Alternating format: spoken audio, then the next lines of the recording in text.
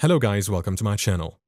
In this video, I'm going to show you how to fix MTP USB device driver fail to install on Windows 11 or 10. This problem can occur when trying to connect your phone or other devices via USB. Don't worry, it's an easy fix. So let's get started. First, press the Windows key and type Device Manager. Click on Device Manager to open it. This is where all your device drivers are listed. In Device Manager, scroll down and look for a section called Portable Devices. You might see a yellow triangle next to MTP USB device, indicating there's an issue. If you see this, right-click on it and select Uninstall Device. Now let's manually install the correct driver. Open File Explorer and navigate to the C, into Windows, into INF folder. In the INF folder, look for a file named wpdmtp.inf. This is the driver file that you need to install for MTP devices. If you can't find it, make sure you have Show Hidden Files enabled in File Explorer.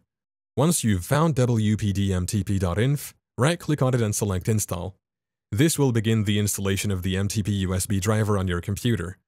After the driver is installed, restart your computer to ensure the changes take effect.